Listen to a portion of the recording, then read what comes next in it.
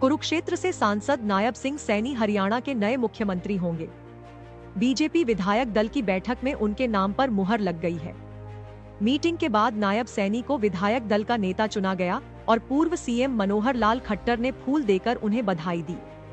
वहीं, विधायक दल की बैठक से पहले गृह मंत्री अनिल विज नाराज़ होकर निकल गए। उन्हें नायब सैनी के नाम पर ऐतराज था।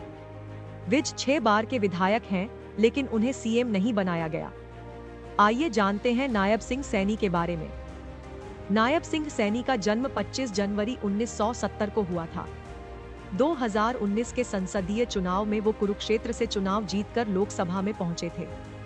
सैनी ने बीए की पढ़ाई B R Ambedkar Bihar University, Muzaffarpur से की, जबकि एलएलबी की पढ़ाई उन्होंने मेरठ की चौधरी चरण सिंह यूनिवर्सिटी से की है। वो राष्ट्रीय स्वयं सेवक संघ से बीजेपी में आए हैं। आरएसएस के ज़रिए ही उनकी मुलाकात मनोहर लाल खट्टर से हुई। कुछ समय बाद वो बीजेपी में शामिल हो गए। साल 2014 में वो नारायणगढ़ विधानसभा से विधायक बने। इसके बाद साल 2016 में वो हरियाणा सरकार में राज्य मंत्री रहे।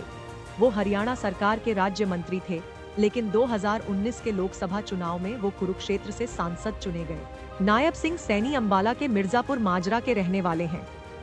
2019 में दिए गए चुनावी हलफनामे के अनुसार नायब सिंह सैनी के पास कुल संपत्ति 33 लाख है, जबकि उनकी पत्नी के पास 11 लाख रुपए की चल संपत्ति है दंपत्ति के पास कुल दो लाख पिचासी हज़ार रुपए कैश भी है एफिडेविट में उन्होंने बताया कि परिवार में उनकी माँ कुलबंत कौर, बेटी वंशिका और बेटा अनिकेत सैनी भी हैं।